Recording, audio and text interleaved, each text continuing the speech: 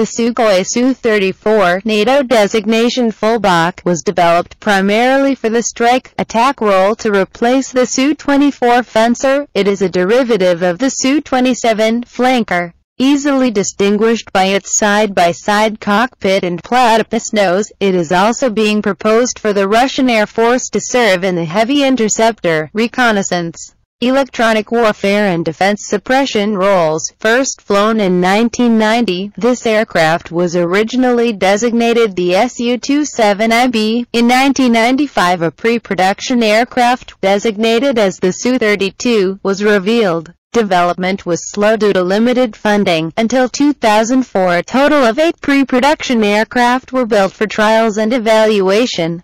A couple of years ago Russian Air Force has adopted the Su-34 designation for this aircraft. The Su-34 officially entered service with the Russian Air Force in 2014. It was stated that total Russia requirement is for 200 interdictors of new type. Upgrade programs continue for surviving Russian Su-24s to extend their service lives.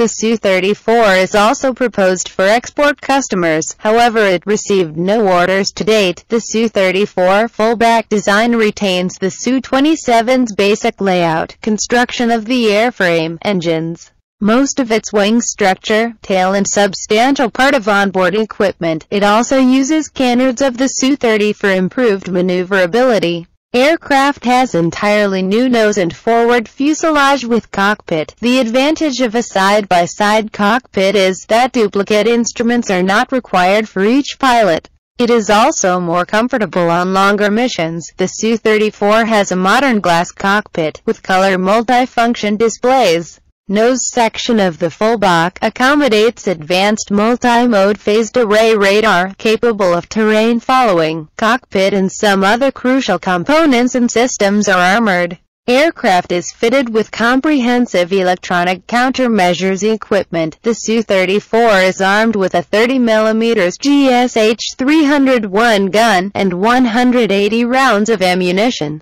The gun has a maximum rate of fire of 1,500 rounds a minute and the muzzle velocity is 860 meters per second. It is supplied by the Instrument Design Bureau in Tula. The aircraft has 10 hard points for weapon payloads, and is able to carry a range of missiles, including air-to-air, air-to-surface, anti-ship and anti-radiation missiles, guided and unguided bombs and rockets. The aircraft is fitted with a target designator. The aircraft can carry 12,000 kilograms of fuel internally and two fuel tanks in the wings and four in the fuselage, three external fuel tanks each with a capacity of 3,000 liter, can also be fitted. The aircraft can achieve a speed of 1,900 km per hour at altitude and 1,300 km per hour at sea level, and has a flight range of 4,000 kilometers.